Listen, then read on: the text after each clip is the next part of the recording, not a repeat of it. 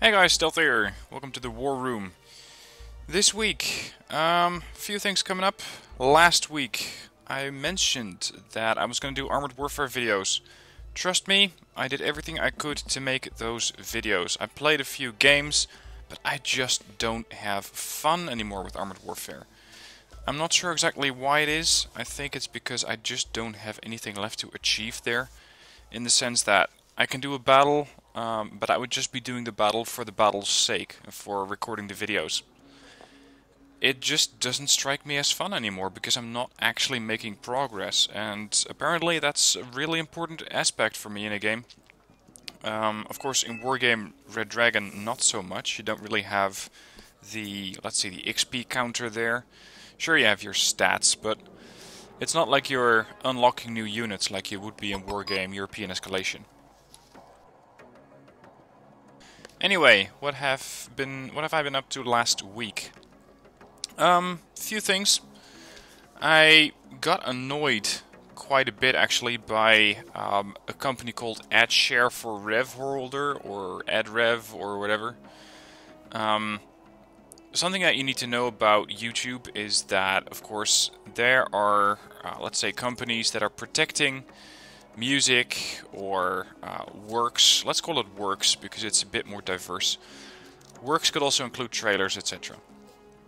Um, let's just say that they are a company that defend the right holders. Now, what's going to happen is that I upload a video, and let's say it's a Wargame Red Dragon video.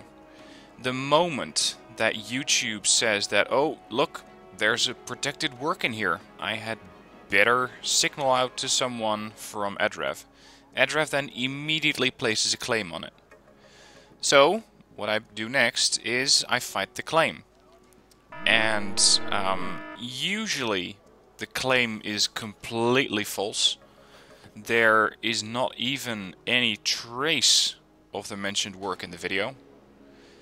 But um, sometimes the stated work is there, it's licensed to Eugen, and of course, um, if they want to fight this issue, they're going to have to pick it up with Eugen because I'm covering Eugen's game. I'm not covering the works that Eugen is using. So every single time I upload a video, I immediately get slapped with a copyright claim, um, meaning that other people are going to monetize my videos, other people are going to be profiting from me putting up videos, and no matter how many times you reach out to these bastards, they just don't respond. They just keep slapping on claims. And here's the most annoying part, and I think that Jingles mentioned this a few weeks ago. There's a, um, let's say an inverse system going on here. In our normal justice system, you are innocent until proven otherwise. At least that's the justice system I'm coming from. YouTube apparently lives in a different legislation because over there you are guilty of uh, using copyrighted material until proven otherwise. Now I understand that it is such a massive production house or a massive uh, video sharing website that they cannot possibly manually check every single claim, especially not companies like AdRev. But come on guys, there has to be a better way to do this. Anyway, that really, really annoyed me. Um, something else that annoyed me last week, and that was actually two days ago, in this very match. One of my team members um, decided that we were apparently playing terribly. He is the first guy mentioned on the team here. He said we were playing terribly, um, I'm not sure he did particularly well himself, but he started to uh, flame the whole team. And not only that, he started moving his own units back. Now, unfortunately, I wasn't recording the match, or at least I thought it was, but my recording settings for uh, Bandicam were set up wrong. Which resulted in um, a failed recording. Otherwise, this guy would have been very famous very quickly. Especially for moving the CV from the main command zone. I mean, this is straight to the point. You only have one air route, and I just happened to be using an airborne deck. Um, let's see, where it, here's his CV, that one. And the moment that he said, well guys, you're playing terribly, he started moving his CV away. That was the only CV. And I would not be surprised if he then started friendly firing on our forces. So, welcome to 10v10. Um, something that I took great joy in lately is uh, a comment from JP Russell from a few days ago. And he said, I've been watching your videos for a long time and my sister calls you Mr. Hey Guy Stealth here. So I thought that was that was really good. Um, it also reminds me of something that Jingles said a while ago. Uh, he said that a comment came in to him where I think someone said um, their daughter, yeah, that was it, their daughter came into the room. And the daughter came into the room with the way that Jingles always starts his uh, videos, which is howdy folks. Um, completely unusual line for a child, but I thought it was very, very amusing. Anyway, aside from that, I've been reading, of course. I decided to pick up The Art of Deception by Kevin Mitnick, who is a pretty, pretty well-known um, social engineer. So more social hacking, more social engineering. And he has a lot of different practical stories of how people have been getting information, um, especially valuable information, but not only information, but also money through using social engineering. And I find this so fascinating that I would almost change my career into uh, into social engineering, into social hacking, or social, let's say, um, company security. And there's something that I wanted to share with you guys. Um, I'm taking you back to 1978. So no internet. Um, there were phones, but no um, no numbers showing or no, no uh, number displays. So it was a lot more anonymous. And uh, there was this guy, Stanley Mark Rifkin. Stanley Mark Rifkin, or let's call him Rifkin, he um, worked in a Security Pacifics, um, which is a bank, authorized personnel only wire transfer room and he was working for a company under contract to develop a bank backup system for the wire transfer room in case their main computer ever went down. Now, we're talking 1978, so computers were probably the size of a small room back then. Anyway, he was working there to provide a backup, or to start working on a backup, and in that capacity he had a lot of access to how money was being transferred back then, including how bank officials arranged for a transfer to be sent. He had learned that bank officials were authorized to order wire transfers um, and they would be given a closely guarded daily code each morning to use when calling the wire room. So there was one central instance of the bank called the wire room who was responsible for transferring all of the money. And um, only a few people in that wire room were able to transfer the money because they had a daily code and the daily code was not personal, it was shared among the entire bank, or among the entire wire room. So, in the wire room, the clerks saved themselves the trouble of trying to memorize each day's code. They wrote down the code on a slip of paper and posted it where they could see it easily. This particular November day, Rifkin had a specific reason for his visit. He wanted to get a glance at the paper. And get the code, of course. So he arrived in the wire room, he took some notes on operating procedures, supposedly to make sure the backup system would mesh perfectly with the regular systems. Meanwhile, he surreptitiously read the security code from the posted slip of paper and memorized it. A few minutes later, he walked out. As he said afterwards, he felt as if he had just won the lottery. So, he left the room at about 3 o'clock in the afternoon and he headed straight for the payphone in the building's marble lobby, so he was calling from inside the bank, where he deposited a coin and dialed into the wire transfer room. He then changed hats, which is, um, let's say, a short for changing identity or uh, pretending to be someone else. He changed hats, transforming himself from Stanley Rifkin, bank consultant, into Mike Hansen, a member of the bank's international department. According to one source, the conversation went something like this. Hey, this is Mike Hansen from International, he said to the young woman who answered the phone. She asked for the office number, and since that was standard procedure, he was prepared for the answer and he said 286. That was apparently their office number. And then the girl asked, okay, what's the code? And that is something that he read, of course, in the wire transfer room. So he said 4789. He then went on to give instructions for wiring $10,200,000 exactly to Irving Trust Company in New York for the credit of Wozchod Handels Bank in Zurich, Switzerland where he had established an account. So I'm not sure which company he picked. Um, maybe some general company in New York, Irving Trust Company. And he told them, or he told the bank, to transfer $10,200,000 to his bank account in Switzerland. The girl then said, okay, I got that, and now I need the inter-office settlement number. And this is something that he wasn't prepared for. So, um, he didn't have an answer. And he managed to stay in character, he acted as if everything was okay, and on the spot he answered, don't worry, let me check, I'll call you right back. He changed hats once again to call another department at the bank, this time claiming to be an employee in the wire transfer room. He obtained the settlement number and called the girl back. She took the number and said thanks, which, under the circumstances, her thanking him has to be considered highly ironic. So, after a few days, Rifkin flew to Switzerland, picked up his cash, 10,200,000. Now, maybe nowadays you're gonna say that's not too much money. Um, I still think it's a whole lot of money. It's more than I make in a month anyway. Um, and he flew to Switzerland, picked up his cash, handed over $8 million to a Russian agency for a pile of diamonds. He flew back, passing through US customs with the stones hidden in a money belt.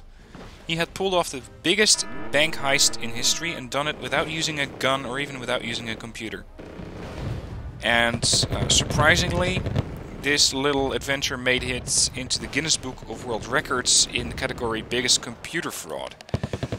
I'm not sure that's still the biggest computer fraud, but um, I think for back in the day, bloody hell, he just um, walked into the security room or the wire transfer room, looked at the code, made three phone calls, and he just gained two, sorry, ten million two hundred thousand. I'd say that's a pretty impressive feat. And this book is filled with such stories. I'll have a link in the description down below so you can find out more about this book if you want to start reading it. I cannot recommend it enough because this thing is just fascinating. There's all sorts of stories and all sorts of uh, different applications of course, there's still the don't apply this at home label attached to it. But if you are, for example, running company security, or um, if you're interested in corporate, let's say corporate counter-espionage or procedures on how to defend against this, then this is definitely a book that you should be reading or should have already read. Something else in the description is a video pitch for my company. Um, a few what was it? I think two weeks back by now, I was at a business seminar uh, where we were asked to write exactly, or to uh, draw actually, on the back of a napkin, so a small piece of paper, what it is that we do. And this led me to uh, trying to make it very simple for people to understand what it is that I do. And of course, VideoScribe is very easy to do so. If you don't know what a video scribe is, um, have you ever seen one of those videos where you just see a hand drawing images on a whiteboard with a voiceover? That's a video scribe. And I found a program that made it really easy to do so. I'll also link to that in the description. Um, I think the video turned out very nicely, and it makes it very, very clear for people to understand what I do and how I do it. So, if you want to know more about what I do, and um, I pretty much get this question every week in the War Room, then uh, have a look at that video, and that'll tell you everything you need to know. Other than that, uh, this week... Oh, actually no, there was one more thing that I want your guys' opinion on. Um, ever since I was about, let's say, 14, I think, which is currently 13 years ago, God, I'm getting old. Um, I wanted to join the Navy. I applied for the Navy in 2005, got rejected on the counts of not being sociable enough. I didn't have enough friends, and they were afraid that I would not be able to perform or function very well on a ship filled with 200 guys. Um, of course, that really, really wrecked me. And I've pretty much been... How shall we call it? Um, I've pretty much been drifting ever since.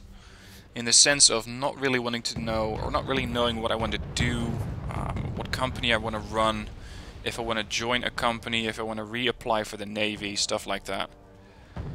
And um, I'm following a program where uh, a question was asked if you had one thing that you could achieve or that you could certainly do without risk, without the chance of the answer being no, what would you do? And for me, it immediately came back with I want to join the Navy. So that desire is still there. The thing is, I have a uh, wonderful and beautiful girlfriend who I really, really enjoy spending time with. I mean, we see each other every day, we have a lot of fun every day. Um, surprisingly, to a whole lot of people, we never fight about anything. We just. I don't know, it's. I, I suppose you could say we're just like the perfect couple. Um, here's the thing.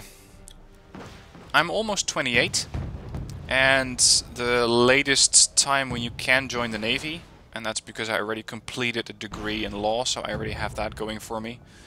Um, the latest time you can join the Navy is 28 years and I think 270 days or something. They don't want people who are too old. So I still have a bit of time to decide if I want to join the Navy. I think I still can. The question is though, is it worth it? It's going to turn the entire, um, or at least my entire world, completely upside down.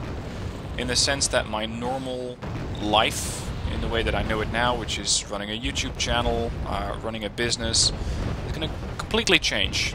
But it's going to change into something that, which has been my dream for the last 12 years. What do I do? I don't want to turn my entire life upside down for something that may or may not happen.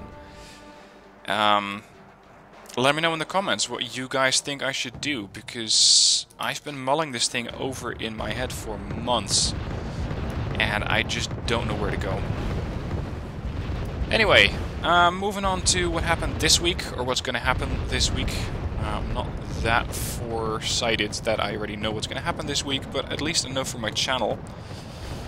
I got a couple more Wargame Red Dragon videos coming up tomorrow, that's uh, Tuesday 22nd of March, we got another mystery deck coming up. I gotta say, the mystery decks keep flooding in. There are a lot of mystery decks by now sitting in my mailbox or in my Wargame Red Dragon deck section that are ready to go. Um, I just need to get around to them. So just please keep sending them in. Give me a little bit of information a map that you think the deck would be good at, a situation, a 2v2, a 4v4, whichever. Um, don't You don't need to tell me anything else. Aside from that, of course, more standard gameplay from Wargame Red Dragon, or at least not standard in the sense of boring, but standard in the sense of uh, the quality that you're used to. Wargame European Escalation is going to continue as well. I'm not sure exactly when, possibly tomorrow, maybe some days later. And I've pretty much been considering other games as well. The XCOM series uh, was received very well by some of you, and others seem to completely ignore it. Um, if there are any other games that you think I should be covering, then please let me know. And uh, no, it will not be Arma 3, Arma 2, uh, Men of War. I tried those games, um, don't much like them. If you have any other ideas for other Wargame Red Dragon series, let me know as well, because the Mystery Deck series seems to be pretty well received. Um, zombie decks seem to be really popular. And if you have any other things that you would like me to try or like me to do on this channel, let me know. It's your channel as much as it is mine.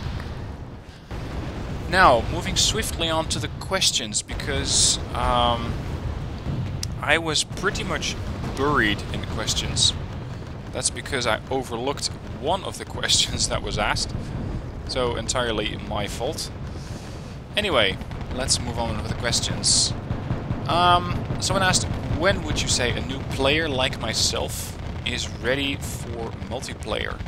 Is there an amount of games one should play, or is there a certain level of win-lose that one should achieve before going online? I don't think that you need to have a specific um, win-loss ratio before going online, because the AI is going to be a completely different type of opponent uh, when compared to a human player. What I would do is go online and try to have a few games with people who have uh, not played a lot of games. So be sure to check their service record or check their profile and see how many games they have played. You see that they have played a lot of games, then that means that um, they are probably way above your weight class. Doesn't mean you shouldn't play them, it just means that you are likely to lose. And while there is um, a lot to be learned in losing, it is not the most fun thing to do, of course. What you can do is uh, go up against some of the higher players, the higher level players, and just try to um, watch your replay. You're gonna screw up, but have a look at how they are combining their forces. What forces are they using? What tactics are they using? What angles of approach are they using? learn from them as much as possible, because that's still the way that I try to improve my own gameplay. Other than that, you can try and link up with uh, people on Reddit or people on my TeamSpeak server, because there's usually quite a few people up there who are uh, willing to help you out and who are willing to help you improve your gameplay. Other question. Um, what are your favorite war films and why? I haven't actually seen that many war films. I mean, of course I've seen Private, Saving Private Ryan, um, Act of Valor, I think is one of the latest, let's say, war films. Although, I'm not sure it would technically qualify as a war film. I mean, it's good, but it's not a war film. It's uh, a movie created with SEALs, by SEALs, about SEAL operations. I think it's really, really good and I believe it is or was on Netflix. I'm not sure if it's still there, but otherwise you can probably find it online. Other than that, I don't really watch too many war movies or too many war films. Um, films are there that I've seen? I started watching Fury a couple months ago. I completely hated it because there was about 0.0 story in it, or at least none that I could find in the first 20 to 30 minutes of the film, so I decided to cut that off early. Um, I don't know really. The thing with war films is that I'm usually so critical about not only war films but also series which are dealing with the military that I'm I don't know, I don't fully enjoy them some people say ignorance is bliss, and I believe that this is definitely the case for uh, knowing a decent amount about military strategy and tactics. Last week, I was watching a few episodes from The Last Ship, which is uh, TV series about a US destroyer, Arleigh Burke class. And this Arleigh Burke, I don't know. Um, I'm not going to go over the entire story. I think I mentioned it a few times already on the War Room. But while they started out really, really quite accurately at the start of the show about what the ship can and cannot do, they just went completely overboard. Have you ever seen um, a torpedo or one of those clips from a torpedo hitting a warship? Usually, a torpedo is going to detonate underneath the hull, so not making contact with the hull, but underneath the hull. And it's going to try to uh, break the back of the ship, trying to break the spine of it. And that's usually what sinks the ship. Not this Arleigh Burke. It got hit twice by a torpedo. And um, it just didn't really seem to mind. I believe that with our current technology, and the last ship plays with current technology, there's a uh, British, uh, sorry, a British submarine, modern class British submarine, that is engaging this US destroyer. Don't ask me why, just watch the show. And some of this stuff, I'm like, what? the U.S. destroyer, for example, the, the Burke, is trying to fight off against this ship, or against this sub, using their own sonar arrays. Um, that is not entirely unlikely, but the best weapon that a ship has against a submarine, if it at all carries them, is a helicopter. A helicopter with um, either a magnetic anomaly detector, submarine sonar buoys, um, a dipping sonar for all I care. They just were not using any of that. All of this stuff, I don't know. Of course, my girlfriend's completely oblivious to this and she really enjoyed the show, but I'm like, what are you doing? This can't be real. This is, no, this is wrong and that's wrong, and no, they wouldn't use those terms. Ignorance is bliss, guys. Don't learn too much about stuff if you still want to enjoy it. Other than that, um, favorite war films? All I can come up with right now is Act of Valor. If I have anything else, I'll put that in the description, but all I can come up with right now is that one. Moving on. You mentioned in one of your War Room updates or War Room episodes that you think you enjoy the Cold War era games. Is the reason why you enjoy Cold War era games anything to do with the likelihood that conventional warfare most likely will have ended with the end of the Cold War? Um, yes and no. I kind of grew up with the Cold War technology.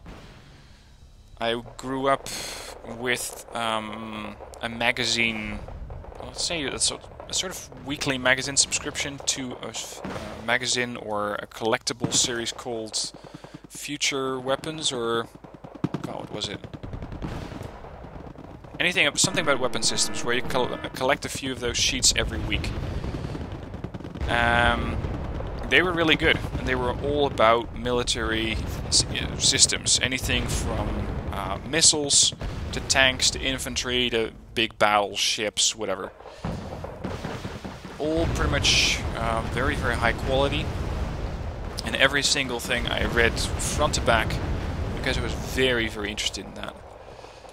And after a while, I just stopped because they were getting pretty expensive. At least for me, when I'm running. Let's say I was just running a paper round back then, so my income was rather terrible. and having a subscription to that took quite a chunk out of my budget every month. So I had to stop that at some point. Um, anyway, is it because conventional warfare ended there? Mm, maybe. I think that kind of set the definition for conventional warfare. But what we're doing um, with nowadays conflicts, sending drones in, I mean, is that unconventional warfare or is that becoming the new conventional warfare? It seems that drone strikes, I mean, are so much easier, cheaper, safer than sending in uh, anything from a bomber to a gunship to a tank to deal with a threat. And of course, some of the latest conflicts have not been symmetrical warfare, as it is so called. We have two big armies going up against each other, but it is two uh, asymmetrical units fighting each other. So, for example, the US against the Taliban in Afghanistan. Taliban does not have a standing army. They don't have any tanks. They don't have any uh, any terrain that you can capture on them. At least not to a certain extent where they are clearly marked on the map. So it's going to be a, a bit tricky saying that that is conventional warfare but it seems to be getting more and more conventional that we're fighting asymmetrical warfare. So to answer the question, um, is the reason why I enjoy Cold War era games anything to do with conventional warfare or ended with Cold War? Not really. Um, it's something that I understand, and I, I think I understand very well. Next question. Do you think that we'll ever see mechanized warfare on the scale of the Gulf Wars? If so, where? Um, I sure as hell hope that we're not going to see it. I just would not be surprised if we are going to see it again. The question indeed is where. And I'd say that that would be um, possibly in a conflict with China. I mean, China keeps growing, um, especially with the latest uh, what should we call this, war terms uttered by Mr. Trump. and how he's going to make the US great again and take on China and what else. I'm not saying he's going to be president, but I'm saying that he has a pretty decent shot at it by now. I don't think there's any denying that. And that could, of course, spark another war. I mean, it's far off, but it's not impossible. Another possibility would be Iran. I'm not exactly current on all the latest politics going on there, all the uh, latest, let's say, international rankings or international, uh, what should you call this? The international standings, I suppose you could say, the di uh, diplomacy going on between the countries. But I suppose that Iran could be another um, volunteer for mechanized warfare. And of course we have North Korea. If anywhere, I'd say North Korea first. That's, for me, what I'd be putting my money on if I were a betting man and I wanted to see, okay, that would be the mechanical warfare conflict. I don't think it's gonna happen, but it would not be unlikely. And of course, I suppose you could say that we're going to be using a lot more drones, a lot more uh, remote-controlled platforms, as a sort of catch-all term, because we can also be using remote-controlled ground vehicles. I believe there's even a remote-controlled F-16 flying about somewhere. So a lot of that is going on. Would it be conventional warfare? Probably not. Um, would it be large mechanical warfare or mechanized warfare? Yeah, probably. Next one. Um, would you recommend any other Cold War era games? Yeah, I just don't know that many of them. I know about, um, these are old titles, guys. Harpoon. I never played Harpoon, but I played a sort of spiritual successor in the form of Subcommand, which was back in the day. Fun story there, by the way. I was um, doing an internship with the Navy few, I was going to say a few years ago, but that was 2006. I was running an internship there, um, and back in the day I was so bloody serious about joining the Navy that I was playing Subcommand, which is a military-grade strategy, or mili military-grade submarine simulator, that... Um, I asked the guys there, okay, do you know this? And is it anything that you're using? Of course, they can't comment on what exactly they're using for training purposes through security reasons. But they were very impressed that I was able to play that and that I knew what I was doing. So, Subcommand is one. Um, there's one which is also by Sonalysts, which is uh, Dangerous Waters You can control either a, a frigate there. I'm not sure they're still in service. I don't think so. The Oliver Hazard Perry class. Maybe. You can control a P-3 Orion or um, I think a few submarines. And of course one at a time. And normally, let's say in Wargame, you, you control one tank and you tell it to go from A to B and to shoot that target. But you control a lot of other tanks. I mean, just look at this bridge here. In Subcommand or Dangerous Waters you control one platform and that one platform you control everything of. Are you going to have your weapon systems engaged or not engaged? Are you going to have um, your radar active, which means you're going to give your position away? Are you simply using passive intelligence like passive sonar, uh, using ESSM, which is uh, electronic signals measurement, or sorry, is ESM, Stuff like that is something that you can all do in Subcommand, Dangerous Waters, and to an extent also in Command Modern Air and Naval Operations, CMANO. So those are the Cold War era games that I would recommend. Of course, I know about Arma 2, Arma 3. Um, what other Cold War era games are there? I suppose you could call World in Conflict a Cold War era game to some extent. Let's say late Cold War. Yeah, I think that covers about it. Do you play Arma 3? Um, once again, no, I don't play Arma 3. I tried playing Arma 3. I usually have no clue what is going on, where I'm getting shot at, where I'm getting shot from, um, how people always seem to know exactly where I am, where to go, how to go there. The only thing that I enjoyed in Arma 3 was uh, being a glorified bus driver, also known as a helicopter pilot. That's something that I enjoyed, and I was I was decent at it. I wasn't good at it. I was decent. I was able to keep the helicopter airborne, which for me was a big victory. Next question: Do you prefer realistic games? Yes and no. I I like that they're out there. Um, I'm talking about realistic, if you want to call it a game, like CMANO. It's very, very realistic. I'm not sure it's a game. I don't... Yeah, here's the thing. On the one hand, I enjoy it very, very much. I really, really like it. Because it is so in-depth. You have such likeness to what is going to happen, and um, I wouldn't be surprised if this is something, or a variation of this is something that's actually being used. At the same time, it wouldn't. I wouldn't exactly class it as fun. I mean, Wargame, you have these matches which just last anywhere between 20 and 40 minutes, um, three hours if you're feeling total destruction. That's usually the end of it. With CMANO, your matches can last a long time.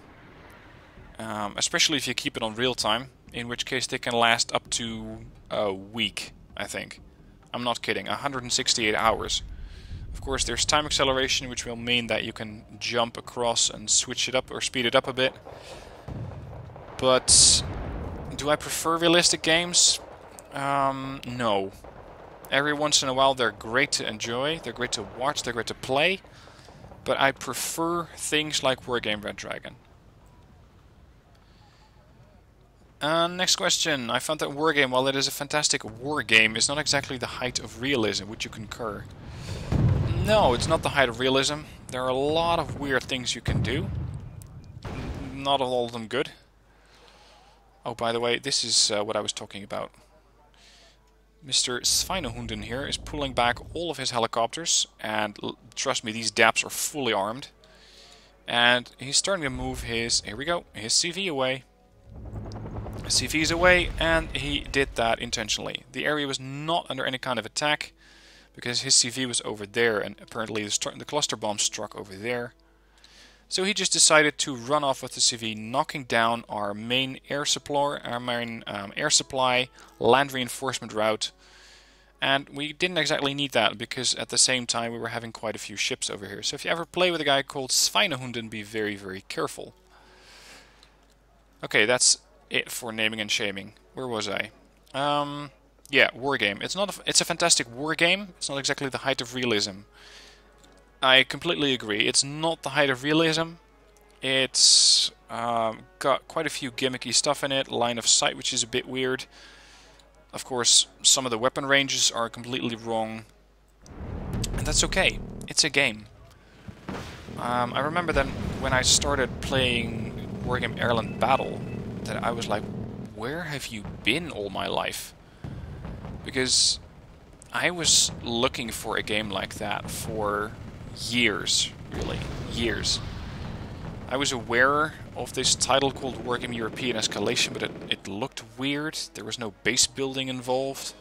And those were the type of games that I was used to. Let's say Generals, uh, Red, uh, yeah, Red Alert. The more conventional titles. And then that whole strategic genre started shifting. We started seeing titles like World in Conflict, where you didn't actually have a base. And then European Escalation came along and I decided not to get that. But I did decide to get Wargame Airland Battle, and I intensely enjoyed that, although I got my ass handed to me by an easy AI in one of the first, uh, one of the first matches that I played. So, exactly realistic? Absolutely not. Follow-up question, what what games would you rate for realism? Again, CMANO, Subcommand, Dangerous Waters. Great, great titles. They may not have the best graphics, their weapon systems used may be slightly out of date, especially true for Dangerous Waters. And Subcommand, I think CMANO is very up to date. So if you enjoy realism, check out those titles.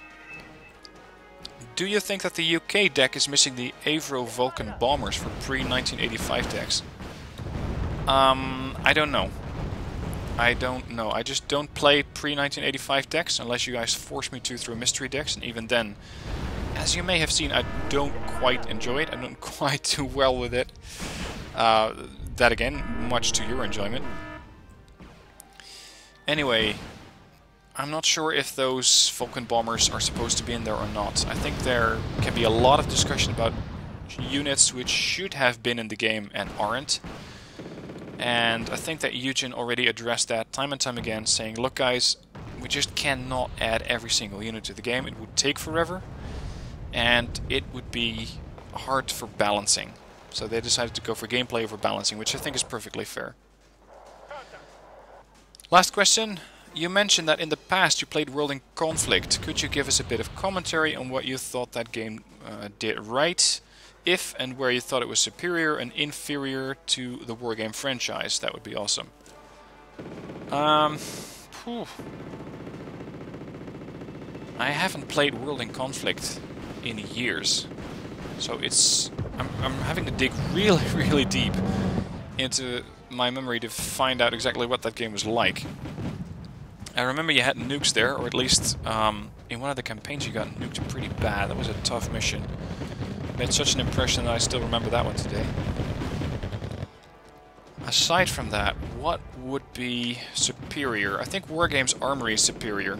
I think it's superior to any title out there currently. I mean, we have... What was it? 1,500 units in the Armory? Something like that. I'm not exactly sure about the complete number or the specific number, but I think that's about it. 1,500 units. I don't think there's any game that has that many different units. So I think that war game, let's say any kind of the war games, is uh, far superior in that sense. Um, world in conflict would be superior to war game. I think that the campaigns in Wargame are slightly inferior to those in World in Conflict. In World in Conflict, you really had the feeling that you were working with a few, I don't know, what was it, divisions, battalions? Some smaller groups. Um, wasn't one of the guys called Bannon or something? I think there was a wimpy tank commander in that game. I'd have to look that up. Maybe I can do a playthrough of that. If you want to see some of the World in Conflict playthrough, let me know. That might be an interesting new game for my channel. Anyway, I don't really know how to answer this question. Not right now, not with the info I have. So I'd have to look at the game, play it a few times, and then compare it to Wargame Red Dragons. If you really want me to do that, just let me know in the comments. And that is pretty much it for this week's War Room. Ran a lot longer here than uh, last time, but I hope you don't mind. I got a lot of stuff going on, and of course, as I mentioned, I was buried in questions. If you have any questions for next week's War Room, let me know in the comments and I'll be happy to answer those. Aside from that, look forward to your opinions on my Navy predicament, whether to join or not join the Navy. And if you have any other things that you'd like to share with me with the channel, leave them in the comments and I'll be happy to look at them. For now, thanks for watching, have a good week, have a good day, and I'll be seeing you soon in the next video.